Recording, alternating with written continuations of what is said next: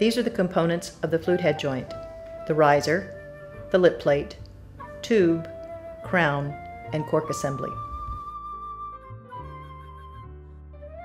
The head joint process begins with a straight silver, gold, or platinum tube. The tube is drawn over a uniquely tapered arbor. The tapered tube is polished on the buffing machine to inspect and correct any imperfections. The riser is a casting, so we first clip the gate.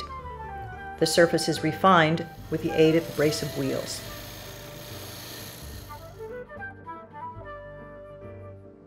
The riser is attached to the lip plate with silver solder.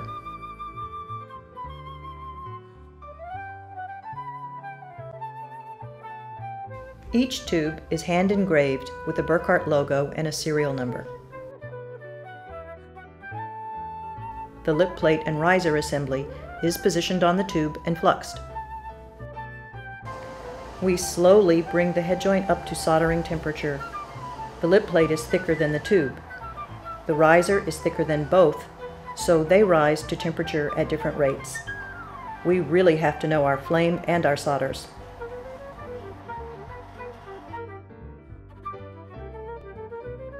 The top surface of the lip plate is filed and sanded by hand.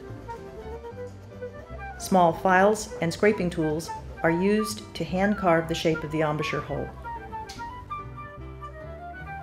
This shaping of the hole influences the resonance and all tonal qualities.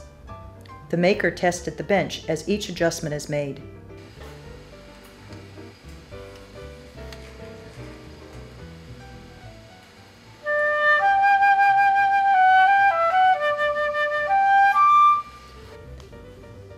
The piccolo cutting process is similar.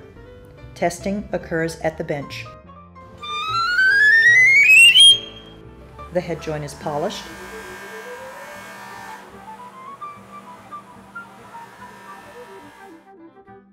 I guide the head joint makers in making final adjustments.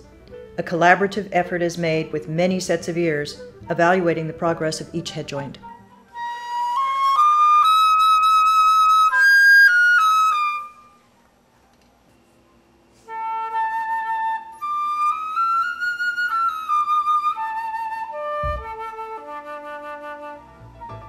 A cork assembly is finalized and a polished crown tops the piece. The head joint is completed and the flute is ready for padding and finishing.